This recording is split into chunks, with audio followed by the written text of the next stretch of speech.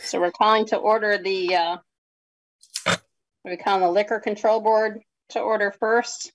First up is public comment. It's comment on anything not on the agenda. Not seeing anything flashing and nothing hang, no hands up. How about approval of the agenda? I'll I move the way. oh, go ahead, Per. I, I will second Perry's, um, motion. Okay, all those in favor? Aye. Aye. Opposed? Motion carries. Consider the outside consumption permit for the Forge. This is changing the boundaries of where they are now. We have no questions. We'll entertain a motion.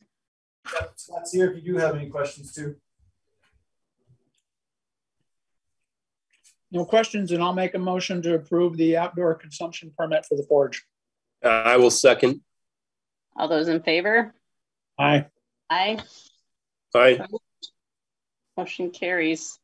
Next up is the permit for sidewalk florist to deliver beer. Great idea. Yeah. The state says it's okay. I guess it's okay. Is that a motion? Yep, motion to approve the sidewalk florist for delivery of beer. I will, uh, I'll move that. I'm looking forward to my next bouquet. All those in favor? Aye. Aye. Opposed? Motion carries. Entertain a motion to adjourn. I'll move we adjourn. Okay, I'll second that one. All those in favor? Aye. Aye. We'll call to order the select board meeting. First up is public comment. This is anything not on the select board agenda.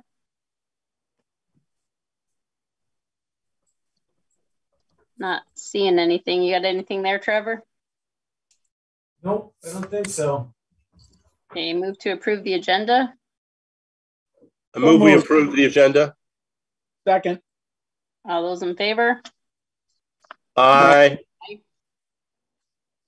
Go into a public hearing for the USDA grant for Kimball Library.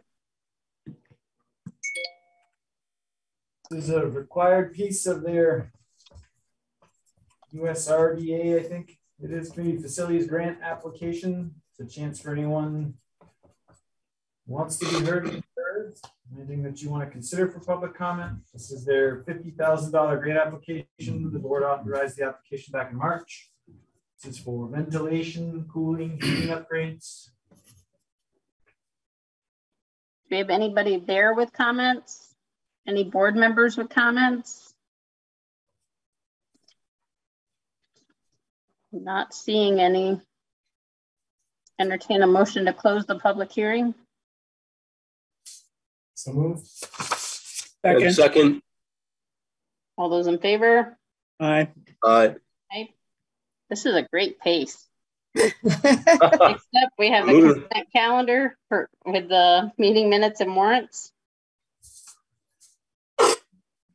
I move the approval of the consent calendar, meeting minutes of, uh, five nineteen and the warrants. Second that. All those in favor? Aye. Aye. Opposed? Motion carries. Next up is business, and first up we have Sheriff Bohnyak and Captain Scott Cloutier for uh, sheriff's update. Well, good evening, everyone. This is Sheriff Bohnyak, and uh, uh, sorry I'm not there in person, but unfortunately, uh, COVID caught up with me, and I've been home quarantined, and uh, right now just mild symptoms. So um, hopefully they'll stay that way and get back to work soon. Um, I believe uh, Scott has uh, about a one year snapshot of the stats, what we have done for the town. It's all, it's arrests, um, incidents and tickets and warnings. Uh, so if, if we got questions on, one thing I will point out on the, on the incidents, um, if you look at, if you look at a copy of it, you'll see directed patrols. And what's nice about this is it actually shows um, the date, time, and the address where we did a directed patrol. So um, if you had any questions, if like we're up at the reservoir or um, whether it's the high school or in high school, we've been primarily, it's after school, um, just monitoring speed. Um, so just kind of give you a flavor. Everything we're doing, it's documented. Even even the warnings, all traffic stops are documented, whether they get a ticket or a warning. And just so you have an idea of about roughly 75% of the people getting stopped in the village are getting warnings. The other 25% are getting tickets. Um, and with the tickets, just so you're aware of this, uh, um, the one year snapshot, um, any local speed tickets or municipal tickets that are issued, we uh, the village code is on there, and the, the village should be receiving um, 80% of any of those violations. And this, the one year snapshot was approximately 80% would be about $8,500. Now, that's if the people pay the fines. If they contest it, um, they're found not guilty. Um, so, or if they just don't pay the fine. But roughly about $8,500 worth of um, violations, local violations, should be coming back to Randolph Village. Um, if you look through there, you'll see there's five uh, addresses blocked out and are sexual assaults on usually any sexual assault, mainly children or pornography. Uh, we want to protect the victim, so we, we block out the address. Um, and the other thing I just want to point out with the when you see it, if you look at the traffic stops, you'll see the date, time, and then the address. The address is actually the actual um, where they're stopped. It may not be the uh, the, the, violation uh, where the actual violation took place. Example: Central Street. We have people leaving the village, and we end up stopping them uh, by Stock Farm Road. So it'll show traffic stop by uh, Stock Farm Road. The violation was uh, in the village. So just kind of give you a flavor. Do you have any questions so far? Nothing from me. All right. How about, well, Scott, you want to add anything to this? Uh, no, Sheriff, you covered it pretty well. Um, I provided uh, uh, Kim with uh, these stats earlier today, so I'm hoping that the select board did get those as well. So they, if there is any questions, please feel free to reach out to us and we can fine tune those. Absolutely. So altogether, you're looking around two around 2,000 documented incidents slash tickets warnings uh, for a one year snapshot, June to June. Um, I'm, I'm open for any questions.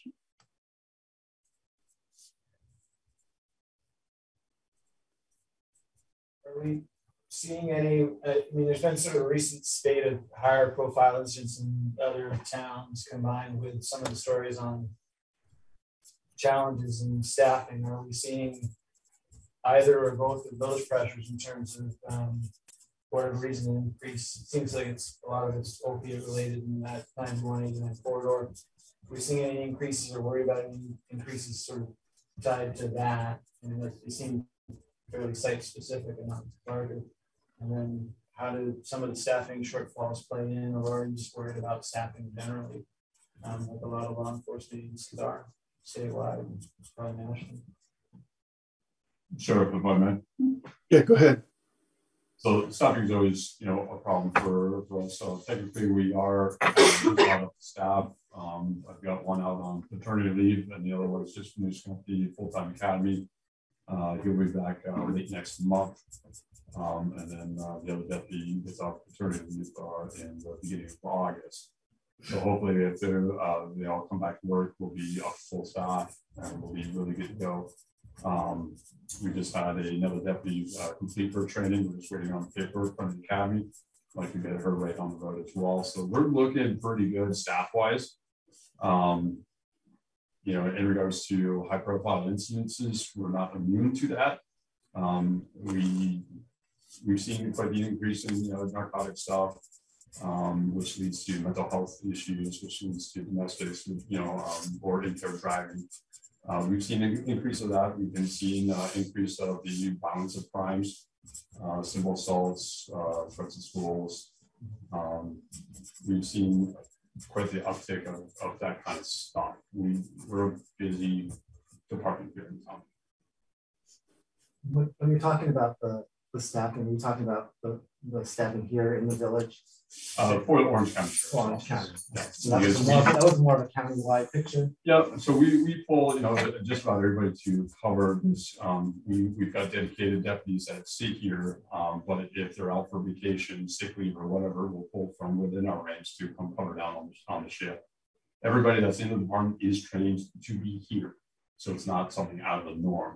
It's just not their everyday daily duties. Um, but you know, like I said, we're, we're off the staff. We're just waiting for those guys to come back in.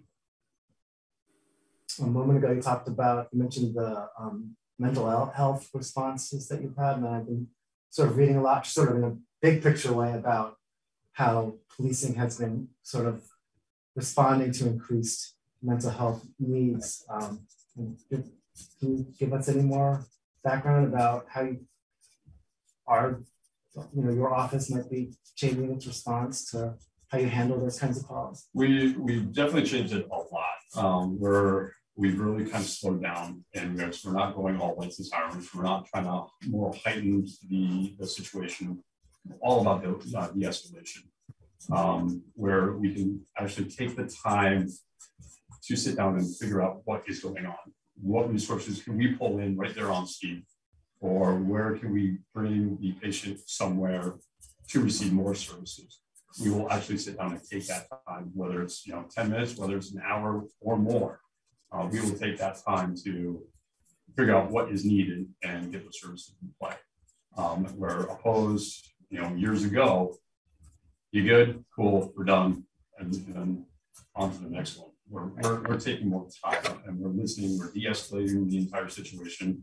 We're not rushing in with guns drawn. We're, it's a very soft, more softer approach every situation that you know dictates something different.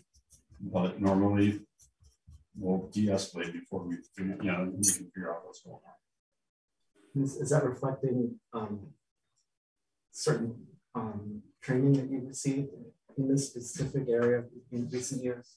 So all our guys, uh, you know, all done the T two training. Uh, we've had recent uh, mental health updates. Uh, you know, that's required by the Vermont Academy. Um, more training is always beneficial, and anything that kind of comes out, we point it in, in that direction, so we have that more well-rounded response to these kind of calls for service. So, so Sheriff, how is the department feeling comfortable, like now with the sort of range of things that you need to respond to, or are there still places where you feel like, boy, I wish we knew better how to do this, or we had more people to do these kinds of things, like where, where do you feel like we're at in general? I'm kind of giving you an open-ended question here, and but I'm just kind of get a sense of, you know, where where where might we we might still have some work to do. You know, overall we're overall we're doing pretty well. We're always we're always open to looking at, you know, um, additional trainings. Um, you know, Montpelier Police Department is offering what they call CIT. It's a critical incident uh, training. That's it's basically for mental health. It's a 40 hour course. We'll be looking into that for for some of the deputies. Uh, right now is a difficult time to send somebody away for 40 hours, uh, but also technology. You know, uh, we we invested in what they call the wrap, uh, BolaWrap.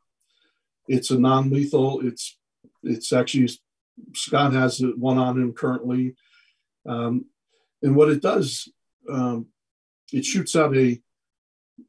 It's almost like a weighted fish hooks, two of them, with a Kevlar string in between, about a five foot string, and when it fires, it wraps around their if you you know primarily like their legs, it'll wrap around their legs and stop them from you know doing anything further.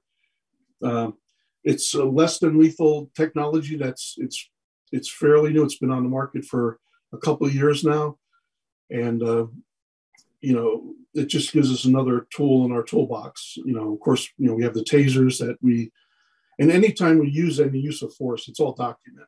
So it's not like we we just go use it and then no one hears about it. It's everything we do is documented when it comes to use of force. Um, so, but we're making sure we're staying, um, keeping up with technology, find out what's what works, what doesn't work for for Randolph, um, and uh, you we we really want that. You know the where what Scott was talking about was the communications with people that are especially in distress you know taking that time to talk with people and you know um, resolving a conflict that it's mutually benefit for everyone um, you know and try to get people help you know uh, i know uh, you know personally we I've been on a couple of these calls with Scott, and uh, you know, we actually sat down right outside Gifford on one of the picnic benches. We talked to a person for over half an hour, and uh, it really diffused the situation just by taking that time and talking to people, not just coming in there like Scott was saying, you know, like uh, guns drawn or a tough guy or something like that. You know, treat people like you know you'd want to be treated, and um, I think that really goes a long way. So I hope that answers part of your question or all of it. Yeah, no, that's really helpful. Um, when when you're when you're responding to um, um, to, to calls where there is a mental health aspect, do you have a pretty clear idea of what you're walking into when you get there, or or you don't really you don't really know ahead of time? The fortunate part about having embedded deputies here in the community is we get to know people um, and we, and so we would have that kind of common knowledge with, if it's a frequent flyer, we, we deal with a lot of people, a lot of times. So if they're in crisis, we know what's kind of going on and how to approach that. Somebody that hasn't reached our radar, it, we're always walking in that unknown. Um, we may have additional resources coming in, and once we dispute this integration, we can cancel those, those other resources, i.e. more law enforcement agencies, backup, whatever. Um, but any kind of crisis situation is always an unknown um, until you walk in the door and see what you got. I just want to also point out with that, um, right now, Vermont, we're all on one records management system, RMS.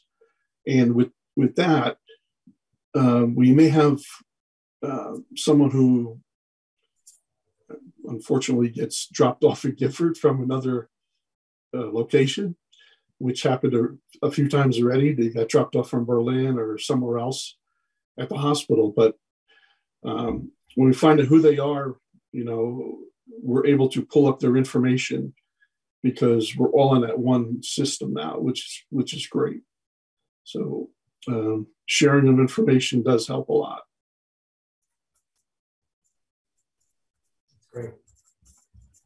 Anybody else have questions? I have, I have a couple more, but I don't want to hog the whole stage. I just have a couple. First, uh, I'd like to know if there's anything the town could do that would help you in your role, not only in the village, but also in the work that you do in the rest of the town. And the second one is um, I understand there's some congratulations in order for our Sheriff Bohnyak on a national role he's going to be playing. So maybe he could tell us about that a little. Um, I'll, I'll, let me. I'll start with this. Um, one of the things I'd like to do, because we do have a good relationship with the town highway crew, I'd like to get the frequencies uh, in our in our in our cruisers um, I think that'll be a big help from from us. This way, whether it's wintertime or you know, car going off the road or something else, we can have that direct communications with the um, with the highway. And, and you know, thank you for that. Um, so on June 30th of this year, I get sworn in as the president of the National Sheriff's Association. It's uh, excuse me, it's a one-year term. It's an honorary position. It's like um, it's like being the chair of a select board, but on a national level. Um, I'm not moving anywhere. I'm not going nowhere. My my family, my roots are here in Vermont, right here in Randolph. I'm very fortunate for my children. We all live in Randolph, and uh, so uh, yeah, it's just a, it's a, a one year term, and uh, majority of this has been online. Uh, just twice a year that I have to go to a um, Washington D.C. for a couple days, and um, this year I'll be going to Kansas City for a few days. I'll be sworn in, but uh, it's here for a rural sheriff being honored on the national level, and it, just proud to be a Vermonter. How cool is that? Little Orange County, Vermont has the national seat. Very cool. It is. It's awesome. Yeah. Like I said, I'm not going nowhere. I'll be, I'll be here, um, and uh, like my roots are here, so I'm not going nowhere. Yeah, this is Sonny. Uh, Bill, I'm proud that you're a Rotarian also. Congratulations. Oh, yeah. Thank you, Sonny. Like I always said, it's better to be a part of the community than part from it. So thank you. Great. Do we have any more questions or comments? I think, Larry, you said you had a couple more. Yeah. Um, I'm wondering where we're at with, um, with body cameras. So everybody here in the village has body cameras. Uh, I still, we're actually working on a federal grant to supply the entire department with upgraded cameras. Um, but everybody here in the village is wearing body cameras. How, how long are the records kept? How is it all, how is the data management handled?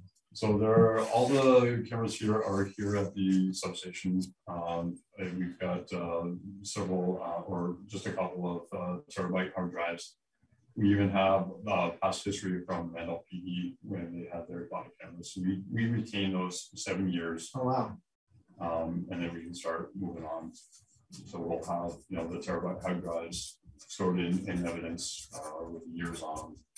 That's how we store the body camera data as of right now. Cool. And then my, my last last um, question is around um, what your policy is around um, non-safety related traffic stops. What was that again? Like, like what, do we have a, a, policy around like non-safety related traffic stops? You know, like somebody who has, uh, you know, an ex, you know, like like inspections that are overdue and and things like that. Do we have a, a policy around when you stop people for those sorts of violations versus versus when you, you don't stop them or do you know, pick those things up with somebody who's already stopped, things like that. So just to so be clear, no inspections are safety. Title 20. Uh, if it's a expired inspection sticker, it's a violation of Title 23 uh, for expired inspection. Um, you, you can't stop that kind of stuff. Um, the we we kind of backed off on traffic stops due to, uh, due to COVID. Um, but we're kind of ramping up, you know, going back into the traffic stops um, just because it's when when you're when we're out there making those kind of stops, it's not just you know pretextual stops, just stopping people just because there has to be a valid reason why they're being stopped. If it's a safety defect, uh, defective equipment, which is a violation of Title 23, um, it, it's they're not getting tickets; they're getting warnings um, hey, you know, fix, fix your tail light, fix your headlight, um, whatever that may be. It's more of a, hey, just try to get that squared away. Um, in regards to the policy, is if it's a Title 23 violation, it's it's very uh, and it's up to officer discretion. Right. Like I said from the beginning, all traffic stops are documented. So whether it's a warning, uh, they're, they may not get a piece of paper, but it is being documented internally. Um, that's part of the race data collection that we must, you know, we we must do. So um, it is being documented every stop. Um, And Scott, you said that during the pandemic, you backed off of some of those kinds of stops, but now they're coming back again. Um, when, when you backed off, did you see any uptick in issues that you feel like you, that you're now that you were missing that now you're addressing? So we had a lot of complaints in regards to uh, speed violations because we weren't making those stops. We had a lot of violations of people not registering their vehicles, not inspecting their vehicles. Uh, and we didn't do those stops on the safety of us trying not to get COVID. Um, back in the beginning of the pandemic, we, we did zero, uh, we did zero traffic stops unless it was a major, major uh, motor vehicle violation, or we thought that the operator may be impaired. Um, out of the abundance of trying to keep our department safe. and Um, with kind of waning in this kind of pretext right now, um, more officers are stopping vehicles and things of that nature. That's why we're increasing more on that traffic stop level due to the pandemic time and not being around and everybody's been vaccinated. That's the reason behind that. Thank you. I, before we before we move on, I just want to say that um, in the in the three plus years now that you, you all have been um, working in, in the village, um, taking over from our now defunct department, um, I, the, the vast majority of the feedback I've gotten from the public has been overwhelmingly positive. And just want to put that out there that um, that it's it, by all accounts it's it's been a positive change, and uh, thank you for the you know that good work that has uh, you know gotten that kind of response from the public. So thank you very much. Thank you for that comment, and we uh, we do try. We want to make sure you know we're we're fair and uh, you know we're still enforcing the laws, but making sure we're doing it in a fair, practical way. Um, you know, we, we're all human. We all make mistakes. You know, and as far as the on the traffic tickets, you know, we do look at you know the, the demeanor at the stop uh, of the person, the operator, uh, if they got previous violations, uh, and uh, so we do take a lot in consideration. But you know, we try to work with people, and uh, that goes for everything we do down there. And it's we want that throughout the county. So uh, thank you for that comment, and we truly appreciate it. And we appreciate the support of all the select board members. Thank you. Great. Do we have any more questions or comments?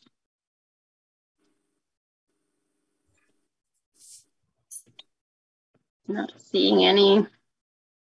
Great. Well, thanks for your time. Thank you. You're welcome to join us for the rest of our agenda. I'm or you're gonna, welcome to go back to recovering. I'm gonna go have some tea. All right, next up is the Chamber of Commerce request for a banner. Hi there, it's Andrea. I'm here. Okay, let's uh hang on, let Trevor give us a little bit. Uh, yep. Sorry, we were trying to fix. We got it seems that the internet connections are a little uh, a little wonkier tonight, so we have some freezing. Something tied to that. We make sure we're all plugged in and everything. Um, what you have before you for this one is a request to put the banner across uh, Main Street, uh, advertising the Fourth of July events. Uh, as I understand, this is the same location or similar location as prior years. Andrea is here on behalf of the Chamber of Commerce and can answer some questions related to that. The sign ordinance requires the select board to bless any requests for banners and has a few other more technical requirements with it, such as certificates of insurance, plans for installation and removal. Um, and sort of clarifying that once that banner's up, um, it's the responsibility of the banner owner, not the town, um, to put it up, to maintain it, to take it back down. So We had a, we had some issues there with the anchors in the buildings. Um, and whatnot. So I would assume at that point, the town said we were not responsible for the anchors or anything to do with those. So does that, does the new application that they submit make whoever's hanging the banner responsible for how they get it up there and any damage that might happen to the buildings it's connected to? We've got a recommended motion before you that would include provide a plan for installation, maintenance, and removal. of the banner. Um, and then the commercial general liability insurance requirement along with it. And so that could be part of, of a, of an approval that there is that kind of plan and awareness. In addition to whatever's already in the sign ordinance. Okay. And how does the, maybe Andrea can tell us how the sign is, how they plan to get the banner up there? In the past, the Randolph Center Fire Department has assisted in raising it. So we're going to address them again after this meeting if we get the approval to hang it. From my understanding from our conversation at our meeting a couple weeks ago, um, the anchor on the Red Lion Inn has been replaced in accordance to a um, building code. Um, Julie Iffland, are you on this meeting? I don't know. So part of the issue, Andrea, is the town didn't want any liability for anything to do with the banners being hung up there. So Right. the fire department was not an option hanging these banners. Oh, okay. 'cause Um, we didn't want the liability of the town being the one that put it up. so I'll have to refer back to Linda on that. Um, because that's what she spoke about when we met. So if we do that, we, we have a, um, insurance policy for the day of the event on the Fourth of July. But you need I'll to have to have one that see. covers the, any damage that might happen from the banner. That's what we have to check out if we are able to extend that policy to that banner to include the time that it would hang there. So you're saying that we cannot ask services of the fire department because they're part of the town of Randolph, is that correct? Correct. Okay, well, um, I, I can't do any, I can't give you more information than that at the moment, and I have to go answer those questions before we can make any confirmation on hanging a banner. Is that, do you agree? Um, I think before you can answer the questions, but we need to take action on this tonight if you're going to be able to hang the banner, because we meet until after the fourth. That's right. So I think that maybe we need to look at whether we approve this as long as you guys can provide proof of insurance that covers the banner and the event and have a way to. We have the event coverage certificate already. I can get that to you. I think Trevor, did, did you get that, Trevor, from Linda already? Uh, I haven't seen it yet. We made a request this afternoon, a follow-up request for it, so I. Okay. All right. She's taking care of a friend who had eye surgery today. So um, I will talk to her tomorrow about that. But yeah, I know that the certificate is valid and ready because we spoke of it the other day. Shall I get back to you by Monday? Well, you gotta wait and see if the board puts a motion through first. Uh, Trini, I'd like to, uh, this is Tom Aaron's, I'd like to make a motion that we approve the banner contingent upon receipt of a uh, certificate of insurance uh, from the chamber that the, uh, any, any damage that re- uh, results from the banner is included in the uh, coverage for the Fourth of July event. Okay, do you want to, does the town care how they get it up there? I don't think we do. Right? No, I mean, so long as it's, it's not a town entity that's putting it up there, right? So I don't, we need that in the motion. I, I, no, I don't think so. Right. Are there any suggestions on how we might get it up there if the Uh, town? hang on a minute, department- Andrea. We've got a Okay. motion on the floor. Do we have a second on it? Before we bring it up for discussion? I'll second it. Um, okay, all those in favor? Aye. Aye. Opposed? I, Motion carries. Anybody have any recommendations? I sure. think we a Few electricians with bucket trucks and Perry's got lift. Oh, that would be awesome. If someone has a good suggestion, um, I'm all ears. Well, check with Harmony Electric because they were the ones that helped like put the lights on the Christmas tree. So they've got a towable lift that maybe they Okay. don't. Yeah. Harmony. Okay, thank you. Great. Next up is a conversation with Sarah of Vital Communities on the White River Valley Working Communities. Hey, that's me. Yep, Sarah's here with us in the room and she's in the front row and ready to go, I think. Thanks, thanks, thanks for having me, everyone. And I apologize for my cough. My seasonal allergies has been really terrible this week.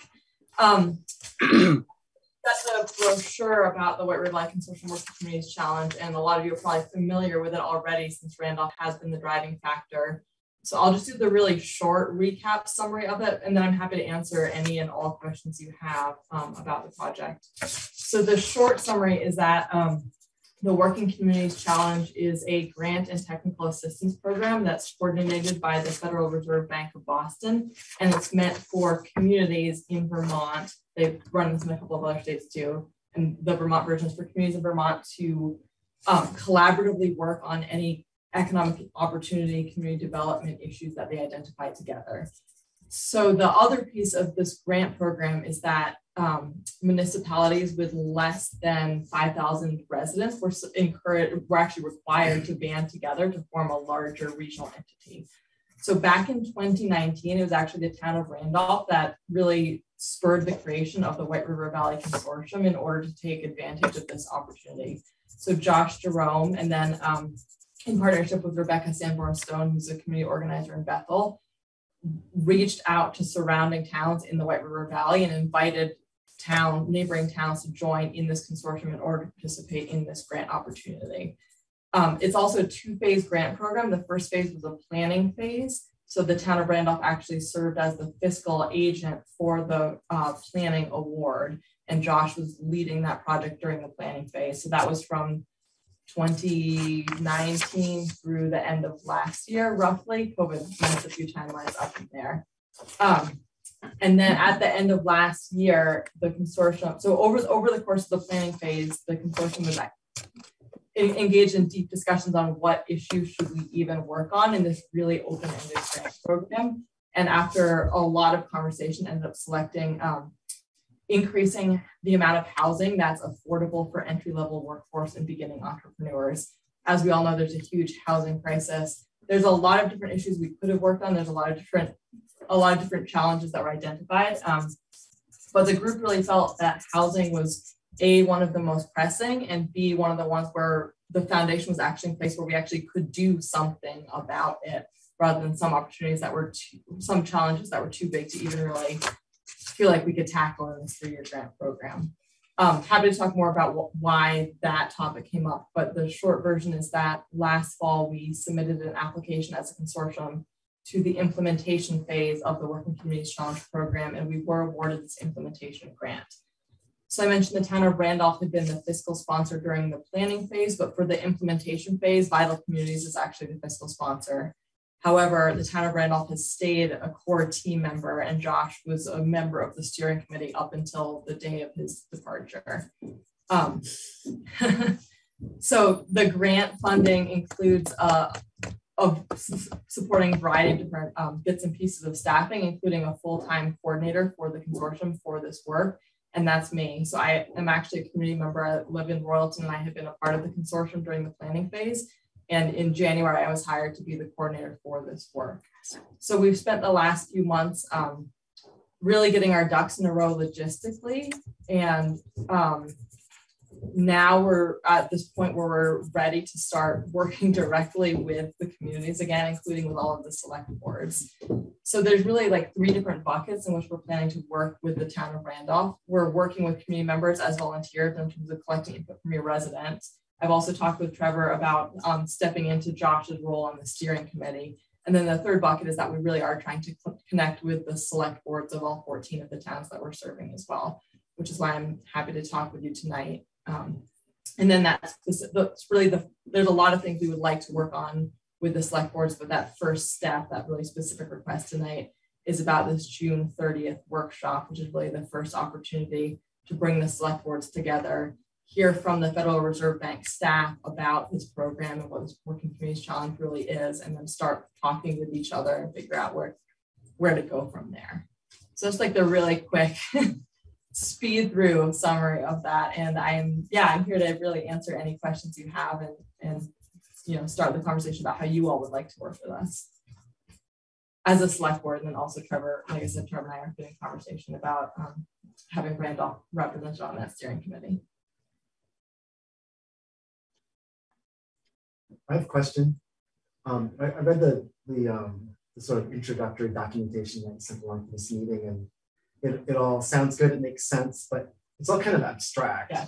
And so I, I left it, I left thinking like, how, where does this really go? How does it get implemented? What, what are the kinds of things that we not necessarily expect to see, but like could possibly see like as products, like just like of like, even if it's like something which never happens, just as an example of like what the possibilities are in terms of where we can end up when we're done with this process. Yeah, absolutely. That's a very valid question. And um, yeah, so it's a so the implementation phase is a three-year award and it's an extremely flexible grant program. So they really understand that it takes a while to build the relationships and really scope out what exactly to work on, which is why I don't have a concrete answer for you yet about what we're working on. Um, where we're at currently as a consortium is that we've just launched really two separate tracks of information gathering. One of them is looking at what are some of the concrete housing solutions out there that other people are doing and teaching ourselves about them essentially so that we can understand whether they would even be applicable here.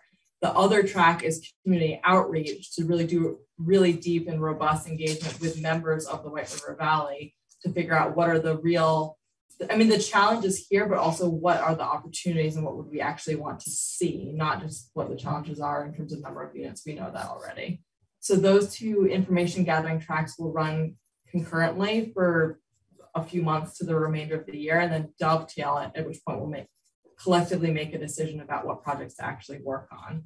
So that's the process for getting there. But in terms of your question about what types of things are we even talking about, I can say that that project exploration track, that first track, has started trying to understand more about solutions like support programs for supporting accessory dwelling units. That's a really promising solution, but it can be really hard for individual homeowners to do alone. There's some really interesting models in Vermont and around the country of municipalities, nonprofits, et cetera, supporting homeowners in doing um, in, in doing that in building accessory apartments.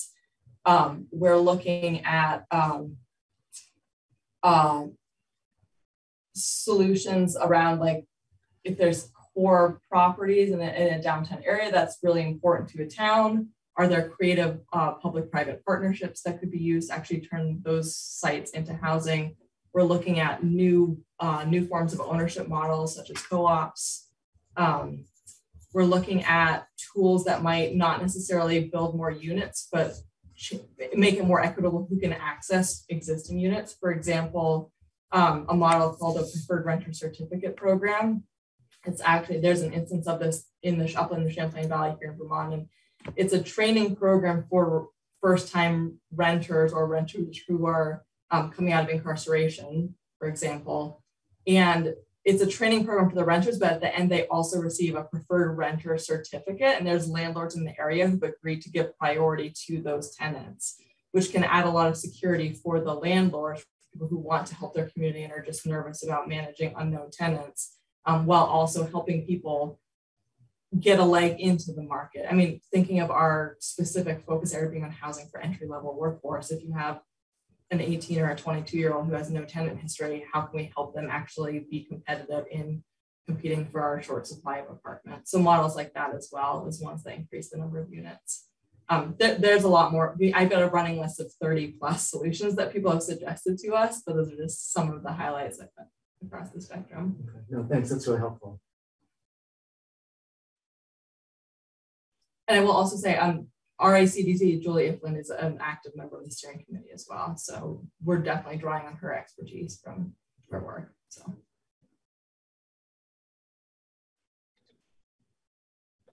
Any other questions? I don't see any questions. I think what you're looking for is a board member to volunteer. So if none of the ones present want to volunteer, the one that's not present could be volunteered.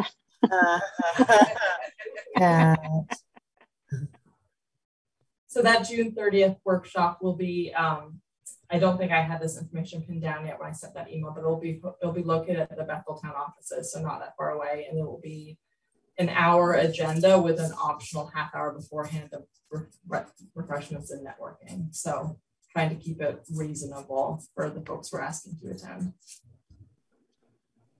Time of day is it? Um, we haven't, it's in the evening, so we haven't pinned down the exact start time yet, but that hour and a half will fall somewhere between 6 and 8.30.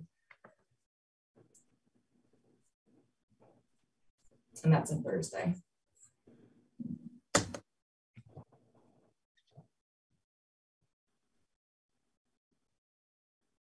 Would this be an ongoing um, responsibility to the committee, or just this one? Yeah, I think that, that so we definitely want an ongoing relationship with the select board, but the person who attends that June 30th workshop doesn't have to be the ongoing point person for this work. I mean, especially if Trevor gets involved, yeah.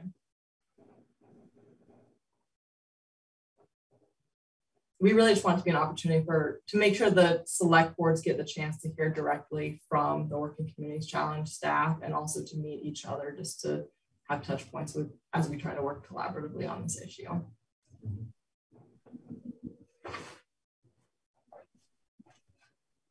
Yeah, if nobody else is chomping at the bit, I'd be willing to attend that meeting. Okay, Larry. There you go. Thank you. Okay, so you'll, you'll, you'll let me know exactly when. Yes, yeah. We should have that pinned down within the next week. Okay. Yeah, no, that evening is fine. Just the exact time.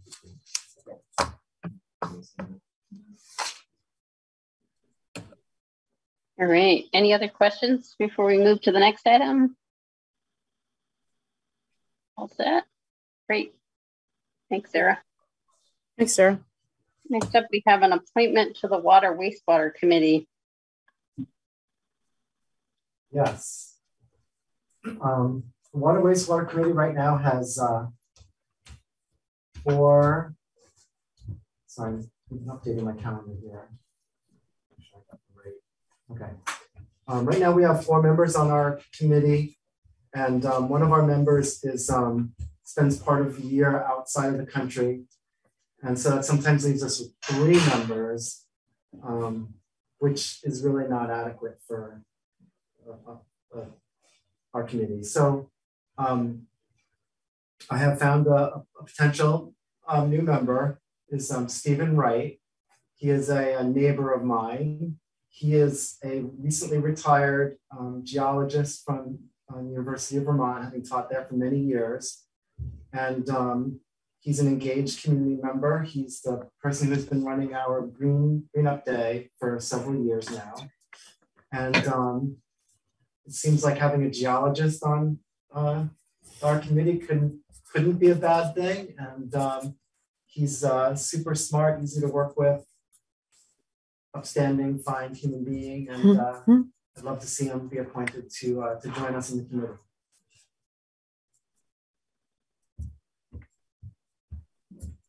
Okay. Any questions from anyone? If not, any motions?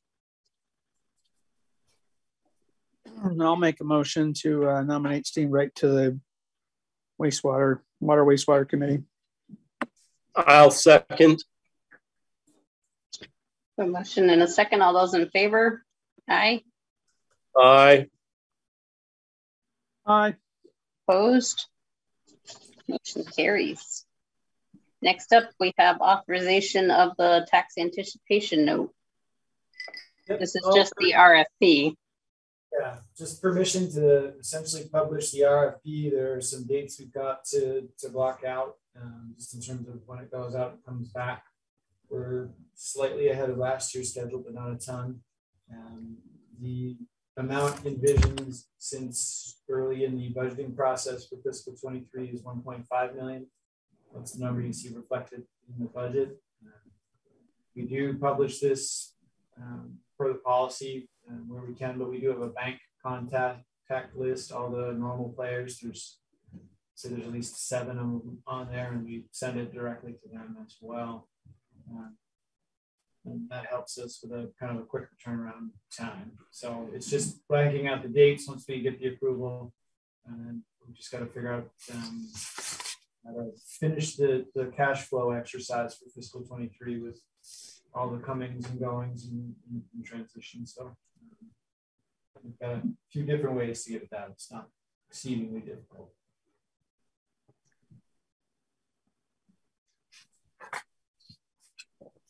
Want to put a motion out to issue the RFP.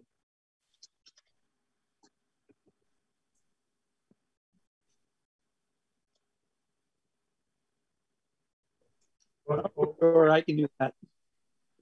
Because they Motion are closed the money comes in. Motion to, uh, motion to approve the RFP for the tax anticipation note. And I'll second. We have a motion and a second. All those in favor? Aye. Opposed? Abstained? Motion carries. Next up is the RFP for paving projects. Same idea, just for the amount being in excess of the thresholds in the policy. We're seeking permission to publish the RFP. We're a little bit ahead of last year. Remember last year, we actually went out sort of two separate rounds. um, And we're successful on the second round, getting two bidders. Um, We used the uh, enhanced list of contacts again. We'll publish it, but again, probably another eight to 10 direct contacts will get this, all the usual players. Um, but you can imagine, we have, um, the highway crew went out, looked at roads, did an inspection, thought about, um, experience from a, a condition and maintenance standpoint. Where are we at, what could really uh, benefit from some kind of treatment? uh, What areas, how does that tie into all these other factors without disrupting the longer term planning idea? So the list you have in front of you in the table reflects that exercise.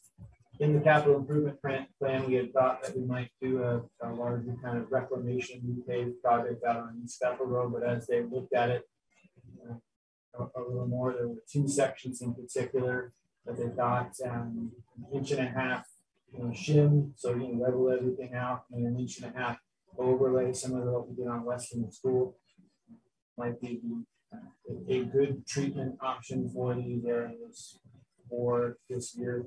Got a useful life of five years, depends on traffic and all that stuff for the shim and overlay. It's a good entry point into that. Um, there are two areas on East Bethel Road, so that's still in the mix. Um, the shorter one is up in that section between um, along the, the front of the VTC campus right there to that um, first scene at the intersection um, by the schoolhouse. And then the second piece of it, the longer piece, if you think you go all the way down to the Crocker Road end where that kind of weird intersection triangle piece is, you work back from there to sort of the next pavement scene. I looked it up on our, I it's the Richardson Farm, the White Farm, kind of up, if you're headed toward VTC, kind of up uh, a little bit on a hill. Um, so it would be that section there, and those were the two that they thought would benefit the most from that. Some of the other areas we've, um, you know, you've got rutted and or broken up pavement. And so with some of the spot treatment on Main Street, for example, we've had a really difficult time with um, de-icing and you know, ice control measures. It's been difficult to sweep some of those wheel ruts. Um, so we've had to go through a couple of times. That's why you still see residual stuff. It's kind of a blow it out, pick it up, blow it out, pick it up exercise um, that, that happens there. Um, and so all of these other pieces have that kind of component to it. Maple Street, which we talked about way back, that the scoping study. is on here, recognizing that we're probably, we've been saying three to five years out for a complete project. And I think five is, might, might be the more risk, realistic time frame given anticipated cost. So given the condition there, even though we've done some spot treatments, um, that would really benefit from something a little uh, more durable and a little more comprehensive. Um, so it's about 19, a little less than 19,500 linear feet.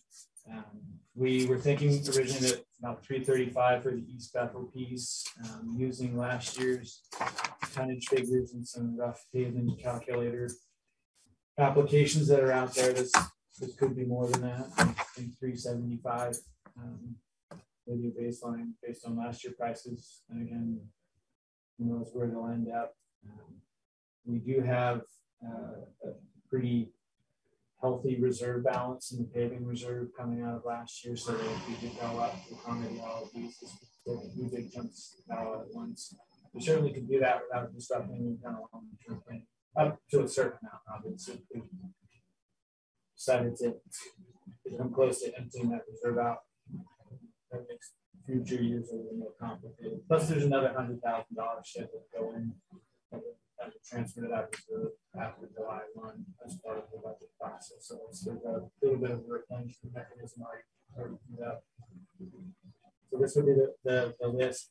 Obviously, we see what comes back at prices are in excess of what, what we're willing and able to do. And we have to try to figure out which among these is the most important to us to do in fiscal 23. Um, prioritize that with um, there. So working, I think, to do a long-term, multi-year plan, do some staff stabilization, so we can project plan for this thing. We have to include one, so so we will have that completed for the next cycle, like we said. This would just be authorization to have us put these out to bid. And the bids go out, they also include, uh, just of any remediation of shoulders and, and lawns that are disturbed. and Adjusting water, wastewater, stormwater risers and other infrastructure such as that. So there are a couple of other pieces that go with it. Um, we may put in you know, three stop bars or any other kind of infrastructure like that. Or we may do those ourselves and have a healthy, healthy supply. And we'll practice that. And so it's kind of talk with John and see which way they want to go. But, uh, there are a few other pieces. Is it um is it possible to incorporate um any kind of speed control on any of roads where we might have complaints since while we're doing this work? Does that make sense? Such as a speed hump or a bump out or Mhm, Yeah. Um, it, it's possible there would be a cost, and I think there might be that larger conversation about the effectiveness, especially with speed hump. How is how effective is it versus what does it create from a pavement management? Okay. Yeah, other safety factors have, you know, the, the struggle with the ones on school streets. There's a little bit of a push pull as they may help control speed, but it really complicates some of the maintenance challenges there. Okay, that's one. one of your friends, yeah. Yeah, and, and, so I think when we think longer term about speed control, when we think about some of these projects, it might be adding other traffic calming elements, such as say bump outs or narrowing or those types of things. On once you get off kind of into those sort of side or other accessory streets. On um on Salisbury Street, Mhm. um, if I remember right, a, a length of that street is privately owned. Um, are we are we paving that section? Like how how do we like what's our relationship with maintenance and the private nature of that stretch of road? Yeah, I, I have to admit that I, I don't know the details of that. We put that in there as it's one of the sections that is heavily used in, in most in the, we include it in the table, we can get it rolling and can sort that out or have that conversation about is it worth it as a public investment? Put that part of that that is privately owned. That's a, that's a main, pretty heavily used thoroughfare, so. Yeah, yeah, it's- It, no, it's a good question. To which- to- Yeah, to keep in mind, you know. for which John and I just I don't have enough of the historical knowledge to be able to say. Dig into a little bit. So.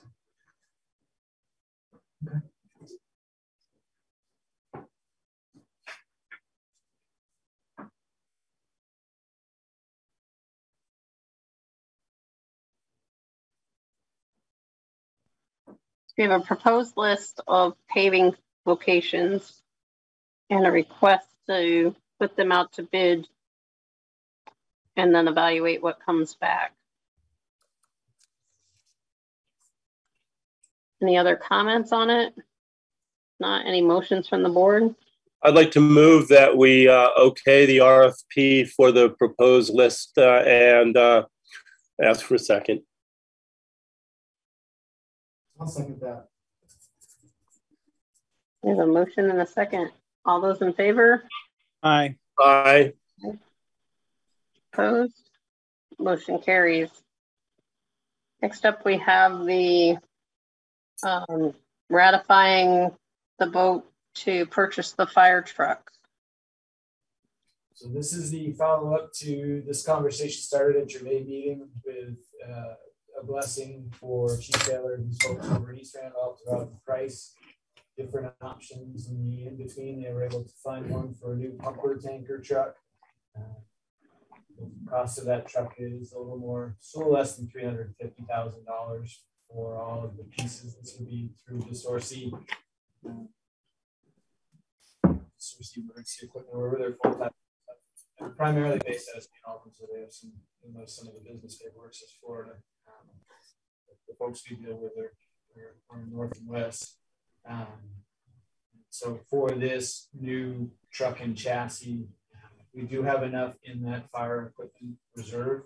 Um, we are five hundred and forty-three dollars and nineteen cents to the good if we spend every, everything else on this truck, so. Um, probably another hundred and ten thousand dollars going over in fiscal twenty-three as the reserve transfer. Um, to that. Yeah, and so there is again that same replenishment mechanism following right behind it. Plus, this truck would be a fiscal twenty-three purchase, so it actually will happen after July one. And then delivery is still, I think if I'm remembering all the conversation correctly, there's some hope that it's delivered in twenty-three, but it could be as late as early twenty-four. And part of the reason for the cycle is that, um, we wanted to do this sooner than later, so it's even further out than that. Um, if, action is, is deferred or, otherwise delayed. We've seen this with all kinds of pieces of equipment from the, the dump trucks to, to everything else. Um, they didn't touch on it, but Scott and, and Bill were, are seeing this with cruisers, so 18 to 20 months out um, in the best case scenario. So there is kind of a time component to having done this now, you have offered your provisional authorization for this. Um, so this would be formalizing that action. So just to clarify, um, the body is already at the shop. They're waiting just for the chassis to arrive, and that's anticipated to be there early fall. If it arrives on time, we will have the truck by January or February. If we ordered from spec, we're now out the 20 to 24 months.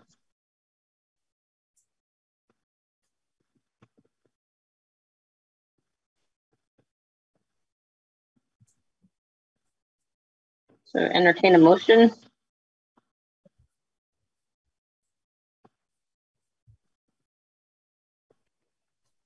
Sure. I'll move to ratify the purchase of the fire truck. Second. Motion and a second. All those in favor? Aye. Aye. Opposed? Motion carries. And right on time, I see Mr. Brady in the audience. He is our next agenda item. Excellent. Nice to see you, Trevor. Nice to see you, Trini. Thanks for having me today. And uh, I am joined here by uh, Kelly Notek. Kelly, you want to come forward and hang out with me up here? Absolutely. I'm going to get your title wrong, but I believe you are the uh, director of underwriting. Not quite yet. Okay. Someday. We'll call we'll, Senior underwriter and marketing rep. senior underwriter and marketing rep. But I'm Ted Brady. I'm the executive director of the Vermont League of Cities and Towns. I think the owl is picking me up, and you can see me, right? Yep.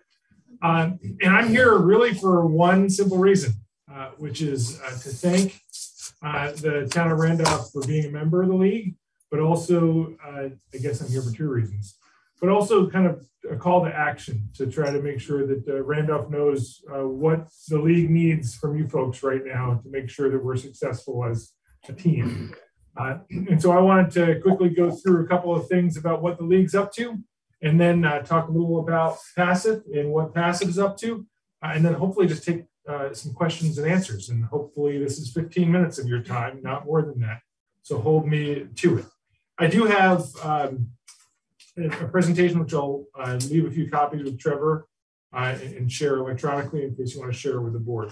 But just to remind everybody what the league is, we are your member-owned association, all 246 cities and towns, soon to be 247, thanks City of Essex Junction.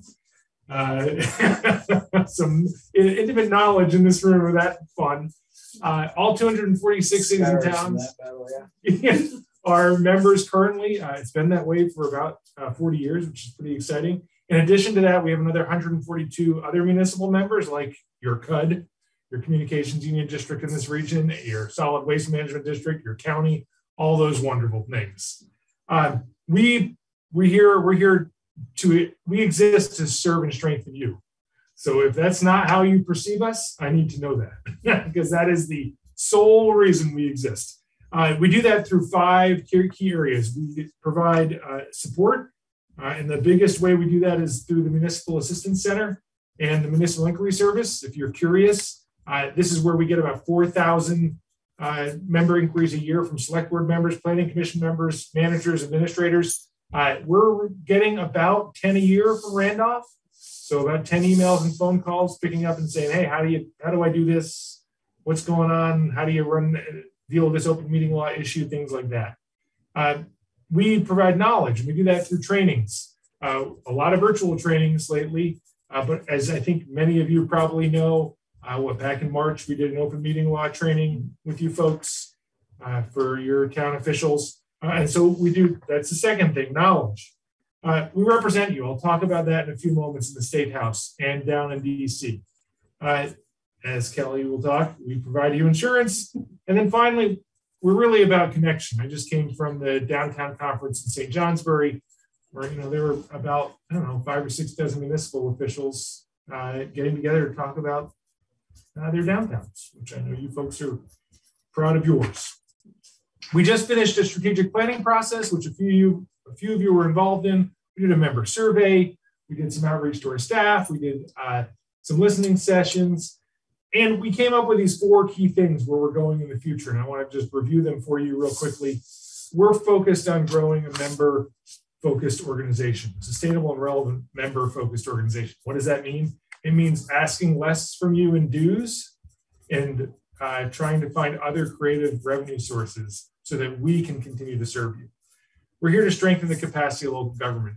It's getting more complex. We need to provide more offerings a big area, which I'll talk about in a moment, IT, uh, HR, name the things are not what they were 20 or 30 years ago. We need to develop and attract an outstanding uh, talent pool and workforce for you. So this is an area that you cannot, no municipality can do this alone. People don't think about coming into municipal government necessarily when you come out of high school in Randolph, right?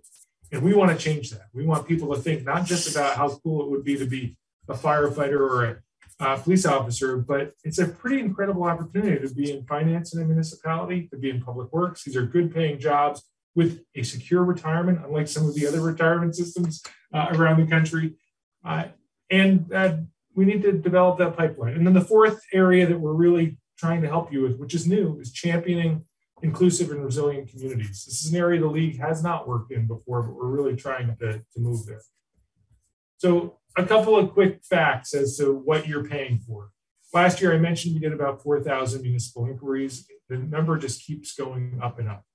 Uh, our friends in the insurance, the pool, sorry, the risk pool that uh, Kelly represents, returned $3.1 million in member equity, which means your, your cost of your insurance was not your personally, but to the entire portfolio was $3.1 million less than it would have been otherwise because of member equity being returned to you instead of profit going to the insurance company.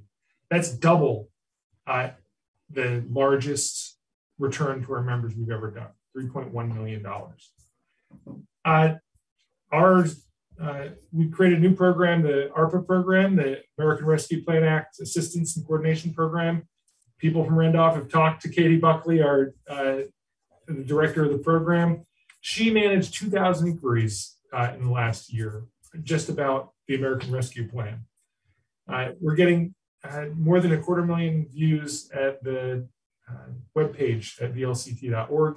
A lot of that has been COVID related in the last year. So I hope you managed to use that. And then I, I think the thing I'm most proud of recently is uh, the ARPA money you did receive was not a sure thing. You know, uh, that money, about two thirds of it was supposed to go to the counties. And the uh, Treasury Department made a decision that uh, Vermont had county government. And we had to advocate on our behalf to explain the reality with our congressional delegation governor that $200 million shouldn't be going to the counties. It should be going to our municipalities. a couple of highlights of things we're working on right now that I wanted you to know about. Uh, one is IT services. So we did a member survey uh, about uh, a year ago and asked our members what they're struggling with. And I hope some of you responded to that survey. And uh, we found kind of three key things. Uh, number one, IT. Number two, cybersecurity. Uh, number three, information technology. so this seems to be the biggest pressing issue for our municipalities right now, dealing with IT. And we acknowledge it. We're working on it. We just finished up a project with Champlain College uh, to do an assessment of our membership and find out what they needed. And uh, as a result, uh, the league published an IT services options catalog on our website just about a month ago, an IT services RFQ template, and a sample RFQ. So if town of Randolph decides it wants to go out for uh, bid for managed IT services, we now have a model a model uh, RFP for you. You all know that that's something we do really well. We create model policies and model RFPs really well. That's just the beginning. There's more, and my call to action will focus on that in just about two minutes. I promise. Uh, another area we've been spending a lot of time on is diversity, equity, and inclusion. Uh, when I got here, we had just formed a committee, an equity committee. It's made up of about uh, two dozen local officials. And we're trying to help towns bat, you know, battle through a really difficult conversation.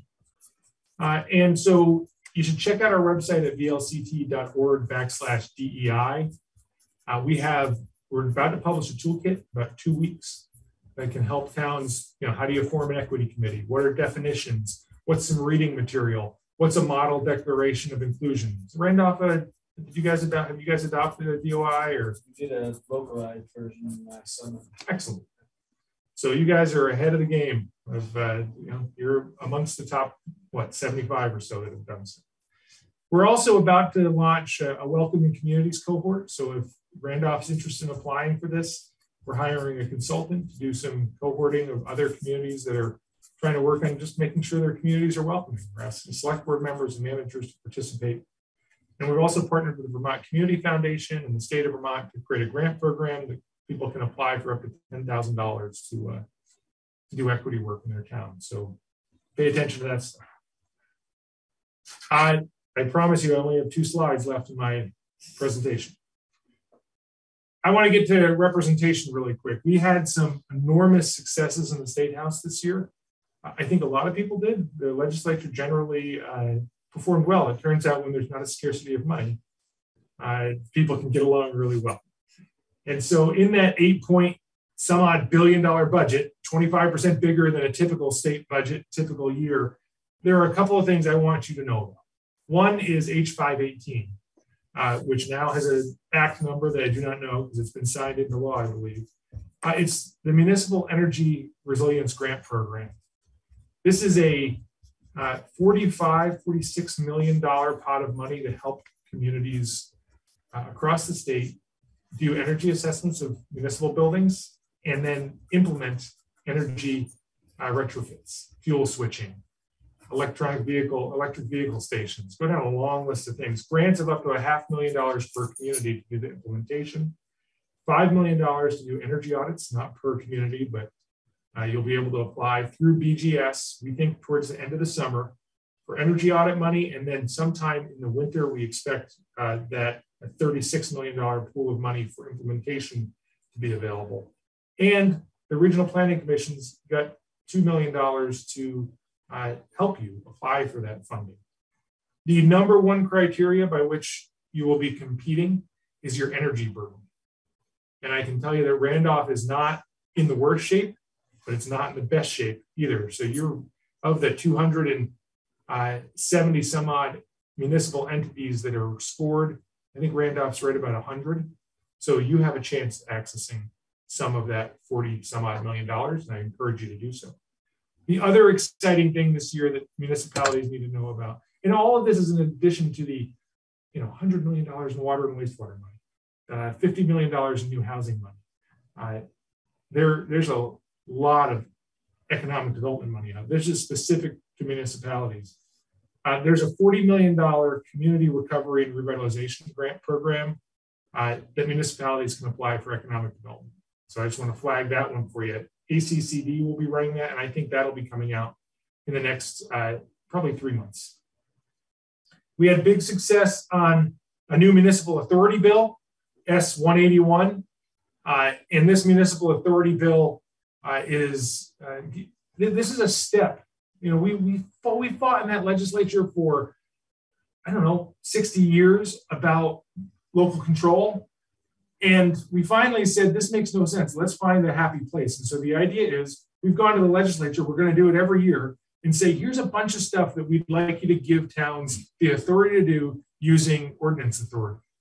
Um, uh, and instead of fighting for their you know right to do it period we're just trying to get you some ordinance authority for things like eliminating offices like constable for things like uh, deciding that you don't want your you want to allow non-residents to serve on boards things that otherwise you'd have to go and either get a charter change or get an act of the legislature period so we had some good luck there. We moved that.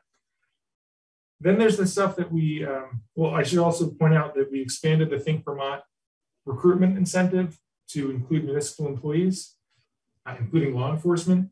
Um, and we created a federal assistance program with a little funding so that we're going to help you navigate with the RPCs the uh, infrastructure bill. And then there's a list of things that we successfully made not happen.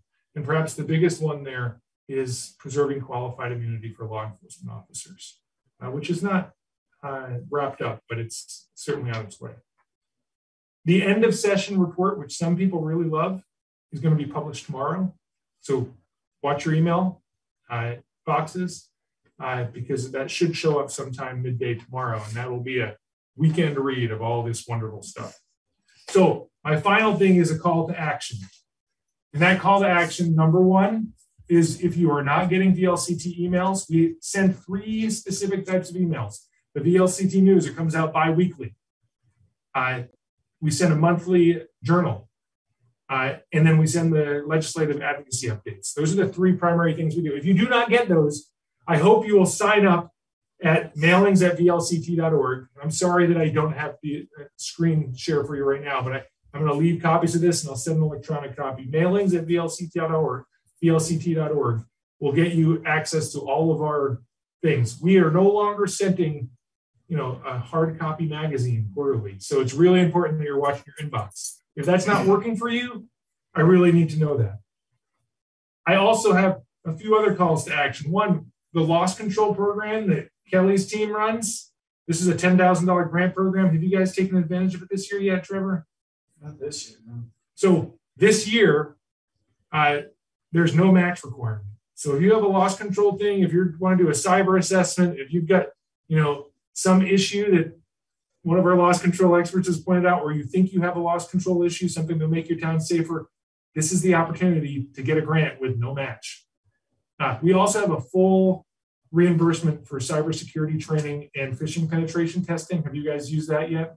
Gotcha. So we have uh, it, through a partnership with KnowBe4, it's a cyber assessment, a cyber training, sorry, and then phishing penetration testing. We will fully reimburse the town for subscri- subscribing to that to try to help uh, eliminate some of your cyber risks. We need your help signing up for summer legislative committees this year.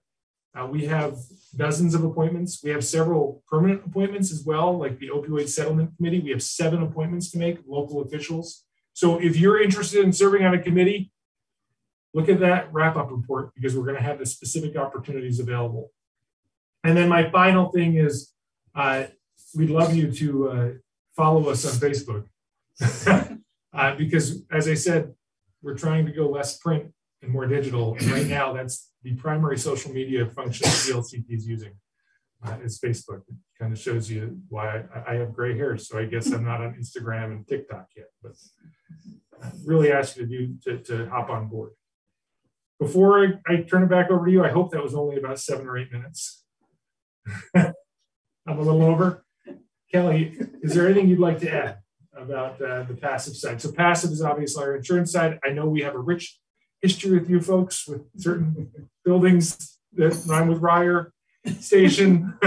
so I know you a lot of you know about it, but Kelly, is there anything you'd like to add? You touched on a couple of things I had. Definitely want to make sure the fact I didn't see any use yet of the grant program from Randolph. So we definitely want to make sure this year is so much better, as Ted said. Before it was a 50% match to 5,000 this year. We did up to 10,000, but 100% match. Um, and if there's anything you're not sure about that may or may not be eligible, just get in touch with us first. Just ask rather than going through the paperwork. We want to make sure everything's efficient. Uh, but yeah, it's really meant for risk management types of things. Um, some towns are putting in um, security cameras, um, you know, things like that, uh, sprinkler systems even. Um, so $10,000 can go a long ways to help out with things like that. Uh, so definitely we'd love to see members do that sooner than later if you have anything because those funds are going quickly.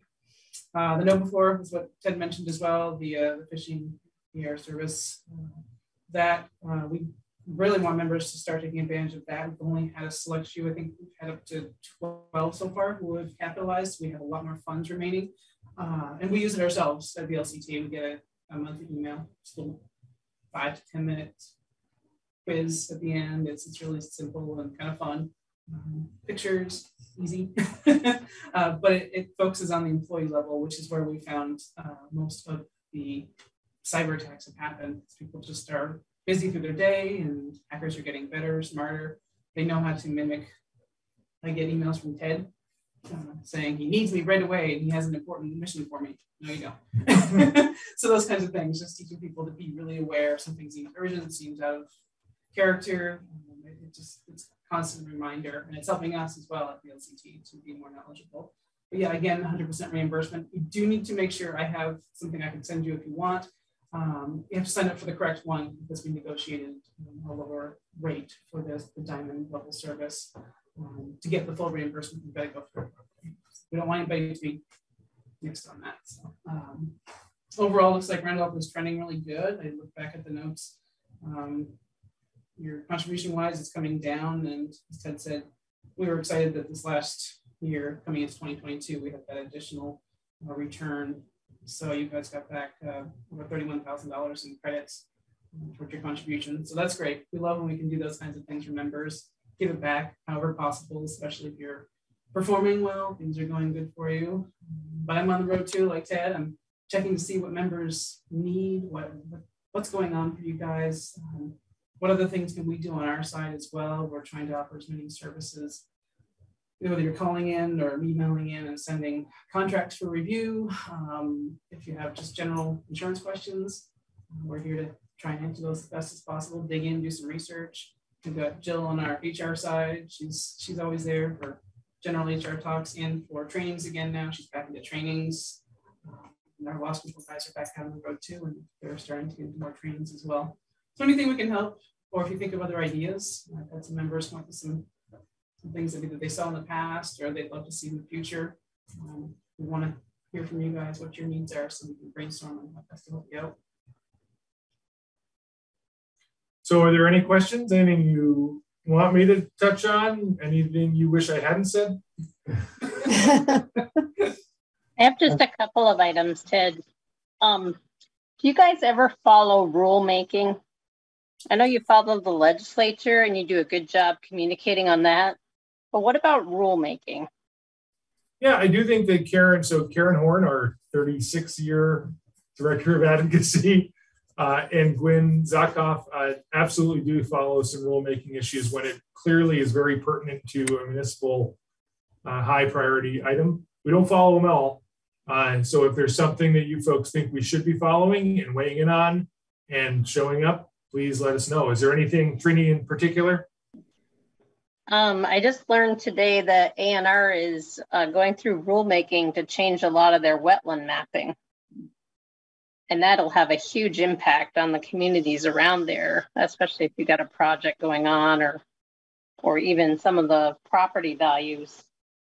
Um, if they suddenly become in a wetland that they weren't in a wetland and whatnot. I just it just kind of the fact that you were on the agenda and that was happening, I was just curious if you guys follow some of that stuff because municipalities wouldn't necessarily know about it unless you have a reason to have it brought to your attention and that can have a huge impact I do believe that Karen follows, is it LCAR? Is that the committee that makes those rules and passes those rules in the end? It is, yep. So I, I know Karen follows that, but I'll specifically flag that one and uh, circle back to make sure that I'm not overstating how closely we're following that stuff. That's a good call. And and the other one is we um, we started down a path researching this with some staff at the league and some staff at financial regulation. I don't know, probably three years ago. So pre TED, and it's the issue that municipalities run into with their fire departments. And we have a lot of people who are volunteers that are in jobs that they don't have workers' comp coverage on.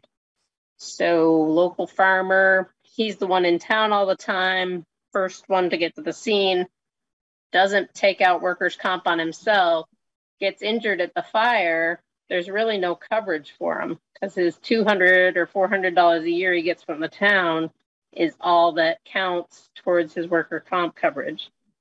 And so we started having a conversation about how do you get some type of coverage on these folks. And it would be interesting to know how many of them are out there statewide and how you do get something that helps them. You know, they, as your first responders, those are the ones you want at the scene, right? They're the ones still working in town in most cases. Um, and in a lot of cases they don't they believe they are covered oh the town's got workers comp on me what they don't understand is something happens it's only on what the town pays or whatever somebody pays in for uh, an insurance premium on them so I, I think it's a bigger issue than just randolph but i know we've got two of our stations more than half of them don't have a workers' comp policy on their normal paying jobs. Yeah, uh, Trini, who are you working with on that? Do you remember? From our well, um, Mike Pieciak was working with me um, from financial regulation. And I don't know. I can go back and find the name and get it to you. But it's a it's a topic that I think somewhere in the state we got to take up? I don't know what the answer is. Is there an AFLAC type policy that you could take out on these folks to help them have something? Is it, you know, we started looking at that from the perspective of what would it look like if Randolph just took one out to cover their firemen versus any type of um, subsidy or compensation that they get from us. It's not really compensation because it's it's pennies on the hour, but um, you know, just you know, what does that look like? And that's a it's a tough one. Yeah, I do recall seeing some notes on that, and I think I think Julia was involved originally on the HR side. There was some questions that came through, and she deferred over to Fred in our department as well, who's our deputy director. I think some of the hitch actually was some of these sole proprietors who had already um, waived their workers' comp um, because they run their own business. Uh, and I think when DFR got involved, it was because they had um, they had actually contractually waived that.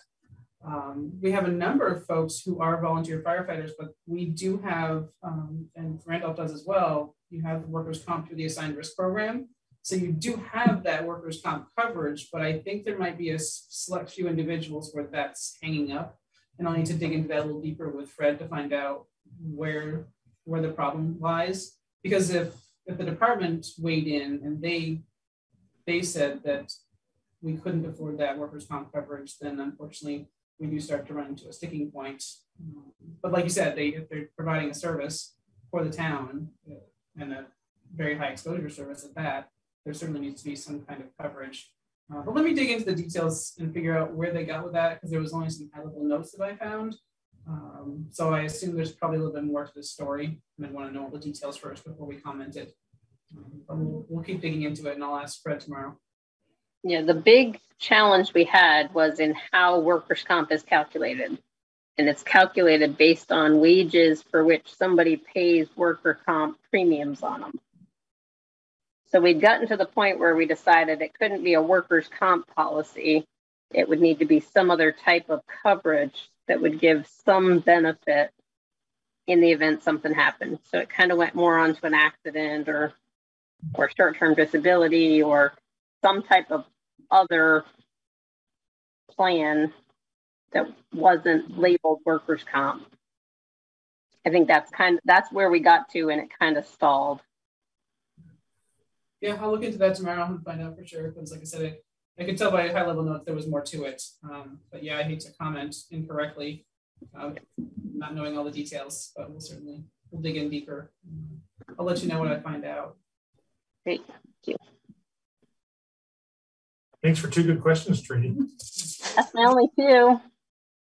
So it's wide open. Anybody else have any? I do. Sorry. I think this is for you, Ted. Um, when um, when you weigh in on um, legislation, um, some of it's you know from the like unbelievably mundane to like truly profound stuff, and then wondering what kind of process you go through to get to the place where you actually issue like we're for this, we're against this, and here's why. Like, what, how does how does that work? It seems like some some of it's like really big deal stuff, and it could be like like some potentially pretty contentious issues in there. Yes, and uh, oftentimes completely unexpected. uh, that's the hardest part. So the most important thing is that the league is a nonpartisan, non-political organization. And so we don't take any partisan uh, uh, positions. We take positions based on what our members tell us to. And so every two years, and we're actually in that uh, process right now, we conduct summer study committees, summer uh, uh, policy committees. And we just finished uh, open call to members to volunteer for those policy committees. We have five different policy committees. I will try my best. We have a finance and regulation policy committee. We have Quality of Life and Housing Policy Committee and Environment Policy Committee, Public uh, Safety uh, Policy Committee, and I believe a Transportation Policy Committee.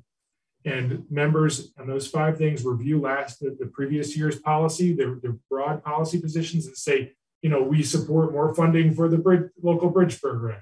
We support, uh, uh, you know, eliminating Act 50 jurisdiction in downtowns and some even higher policy positions, which are, you know, we support local authority in all uh, opportunities that there are. And then we use that as our North Star. And so throughout this summer, we will hold these policy committees again. And if anybody's interested in being on a policy committee, it's not too late. We simply have closed the application period because we didn't think anybody else wanted to join. But if you're interested, please do. Uh, we then spend the summer building these policies, and we bring that policy to the full membership to be voted on. That policy is voted on at Town Fair, which this year is October 6th and 7th, in peak foliage at Killington. And we bring that whole policy to the membership where it can be amended from the floor. It has been amended regularly on the floor, which is a complicated game of elections and uh, uh, parliamentary procedure.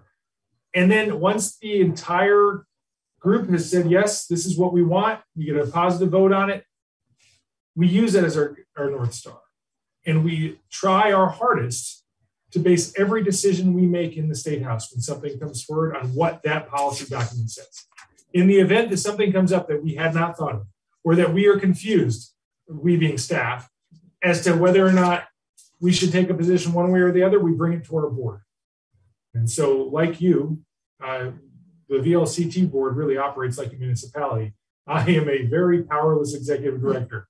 My board holds that power. And so the board uh, will make a decision and say, yes, uh, you should support this or no, you shouldn't support this based on either what's in the policy, municipal policy, or based on uh, their beliefs that uh, this is what the membership will want. Is that answering the question? Did I go too long? No, that's great. Thank you. That's helpful. I do mean it. If you're interested in joining one of those committees, we'd love to have you.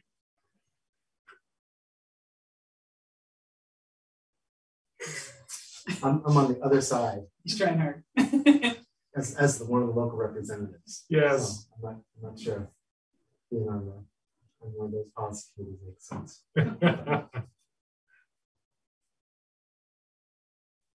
Do you have any more questions or comments?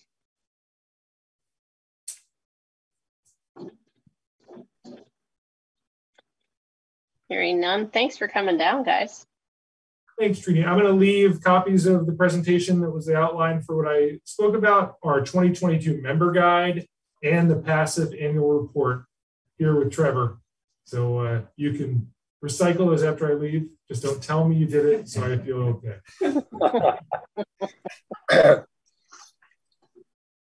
Thanks for the opportunity, everybody. Thank you very much for having us. All right, next up we have the MRGP grant and aid. The annual authorization for the, for us to submit a letter of intent to participate. There's a, a sort of a preset amount that's already designated for us. A little less than forty-two thousand dollars. They're 80-20 grants. They're pretty easy to both obtain and administer, and we use them for projects that you could broadly describe as water quality improvements. So we often use them on some of the gravel roads in, in the more rural areas. We're doing one this summer on Howard Hill. We base the candidates on our road erosion inventory. And if you've ever seen that map, there's yellow, green, and, and red. And we try to focus on the areas where there are the red segments. It looks at what they call the hydrologically connected roads. So any of the roads where the stormwater could make it into um, some other, you know, directly to a body, body water or indirectly find its way in there. And so we use these for improvements like uh, ditching is, is, a, is a big one, um, turnouts, runouts, um, armoring culverts on either end, you know, exit and entry. So those types of things that generally adhere to that sink it, slow it, spread it set of stormwater principles. We've been really successful. The regional planning commissions of Two Rivers, Rita in particular, help us identify candidates, find our way through the grants, submit for reimbursements. They're, they're a very good partner in this. Uh, and so we would, this would just be a letter of intent to, to participate that we'd be asking them to approve tonight, and then we'll identify candidates working with Rita based on that road erosion inventory. The early favorite is something up in the area of where Rogers Road and North Randolph Road all come together. That's where there's a couple of different red segments that meet.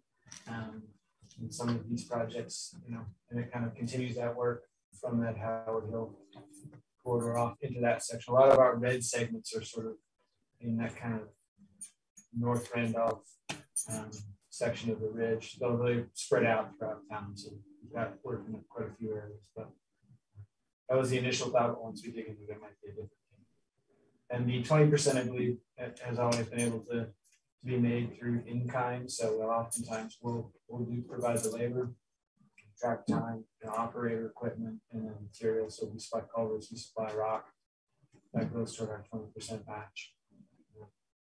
They're, they're I'm generally uh, grant hesitant. This is one of those programs where they're they're easy to obtain, they're easy to administer, they're easy to have reimbursed, and they make small projects a big impact.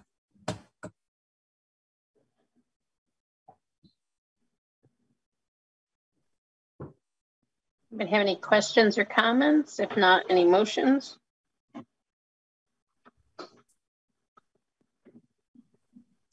I'll move that we approve the uh, letter of intent for the MRGP grants and aid participation. Second that. Motion and a second. All those in favor? Aye. Aye. Opposed? Motion carries. Assembly permit for First Fridays. Yeah. Yeah. if you wanna Yeah, come come on Steph- up. Stephanie's here uh, on behalf of the event organizers. You had left it after your May meeting that first Friday, number one, first Friday, the first would occur, you'd revisit it um, for making a decision on the subsequent dates in the event series. So this is a return event to see how things went and if that authorization is extended throughout the, the proposed meeting or the proposed event slate. And we've included the original application in the packet, so you can did that out. I don't remember the exact dates, but it was roughly what, four Fridays, so. Yeah, so the October is the last one, it's July first and then August something. So, yeah, four, four more. September and October, yeah. Yeah, it's four more.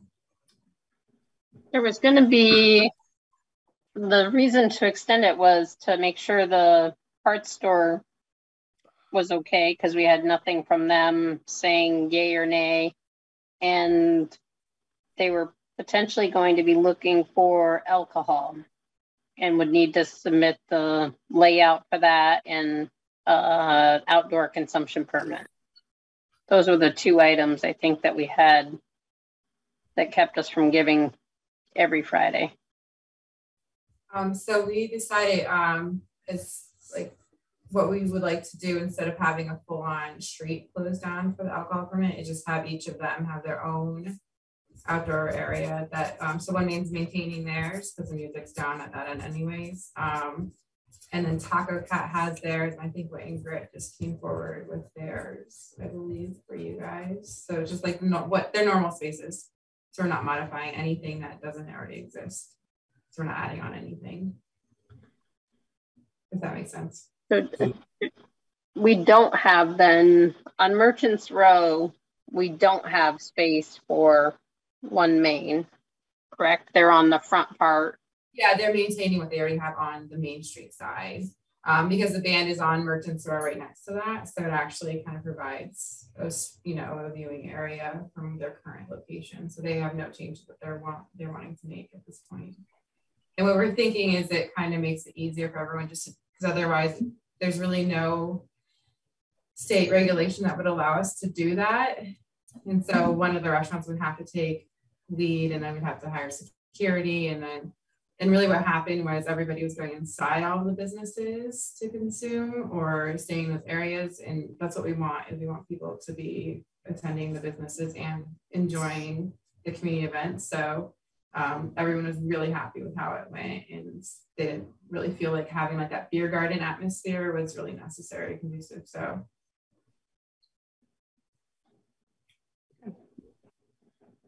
And as far as the parts store, it seemed fine. No one said anything to us. And um, I don't know if you guys heard any problems or anything, but It it hasn't contacted my office at least. I don't know if anyone else has heard from me.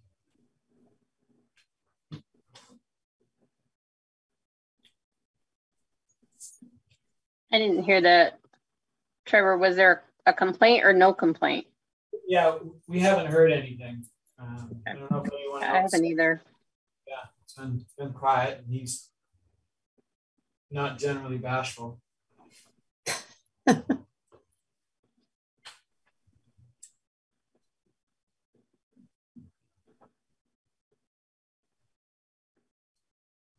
Anybody have any questions? Comments? What we're being asked is to grant the same permit as we did before with no changes for the first Friday for the next four months. I'd like to move that we, um, that we approve the uh, permits for the next four months for the first Friday event on Merchants Row. Second that. A motion and a second. All those in favor? Aye. Aye. Aye. Opposed? Abstained? Motion carries. Next up is other business. Stephanie. I don't have anything for you. But uh, managers report. Uh, maybe a couple quick ads. We're still working. There may be a way to continue the wells and reservoir projects. Start this summer and do some of the critical pieces by essentially splitting the project up into sort of the necessary components, what you can think of as the finished components, and that would allow some more time to identify how close that remaining funding gap, contractor put that one forward, so we're trying to work that through to see if that's something DEC would, would be okay with. Um, so we still may be able to have something probably closer to late summer, fall, forward with the replacement of the reservoir there. We, uh, we've been interviewing frequently this, this week, um, for different positions. Um, recreation director primarily. We put together a little hiring committee for that. So we had a quartet there. Um, we're continuing to work to identify candidates for different vacancies. Um, we had some illness related absences, both amongst sort of our regular folks and even some of our contract people. So that's kept us at, at, a bit of a slower pace as well. Um, we are working to um, the fiscal year closes at the end of the month. And, um, when we think about grants, at least in the short term, if we can focus, um, prep ourselves to take advantage of some of maybe the bigger opportunities that are out there, assuming that we'll, we'll be at a better staffing place at some point. Um, in between some of these like grants and aid, the, the equipment grants to the league that are a, a little lower hanging fruit, but have those kind of, of significant impacts, you know, given their, their amounts those reasons are managed. I, they just, we have so many of those active in some form, from reporting to reimbursement requests. Know, they're eating up a substantial chunk of time. And, and that has downstream impacts. So I'm presenting to, to do the worry about now. I just want to kind of highlight that as we think about we can queue up to take advantage of some of the cycles that, that, that Ted was talking about with some of those other opportunities. Get yourself staffed up. It all should work fairly seamlessly.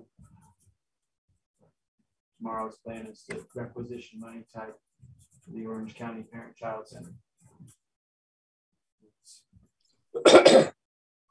Hours that have to go there that something else so it's it's it's we're trying to keep everything moving, but it's it's the longer this short staffing goes on, the more difficult it is um, to plug holes. So we are we are actively trying to fill some of these things, um, but we're, we are trying. It's kind of a I know you all already know this preaching the choir, but if anybody's listening, hears it later, sees it later, we, we are trying. We are Just, so far we can travel so fast.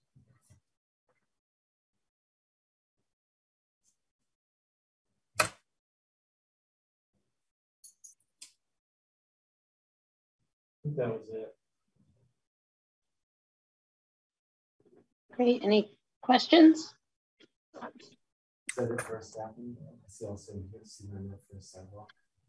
But yeah, we want to do a, a similar go around. The capital plan has um, envisions that we put some of our sidewalk reserve money into to, you know, more significant maintenance projects. And we try to find a few of those, bundle those together and do an RFP. Some of the that are just So we just have to identify those candidates. There's some sections, you know, the main drag, and we'll try to get out Hospital's got some sections that it's patched through and they're in pretty good shape and when you weigh them against some of our other areas, but certainly aren't in ideal shape either. But just figuring out what the right mix of those would be. Um, just getting out and walking them measuring with a the wonder wheel. It's the, the linear measurements and, and, putting that together.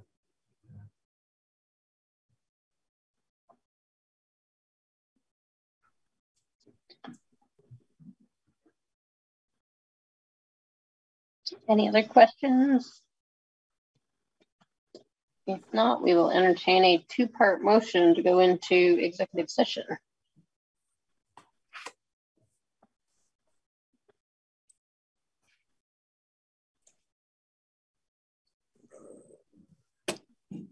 Looking for that wording. I move that we find that executive session is necessary and prudent and that premature general public knowledge would place the town at a disadvantage. And then move to enter. Do we have to do these separately? Yeah. Okay, Yeah, that's my first motion. I'll second that. All those in favor? Aye. Aye. Aye. Opposed? Motion carries. Uh, uh, The follow-up motion, to executive session pursuant to one VSA uh, three thirteen A one A contracts and one VSA three thirteen A two real estate and one VSA three thirteen A one E pending probable litigation. Okay, good for you. I'll, I'll second what he said.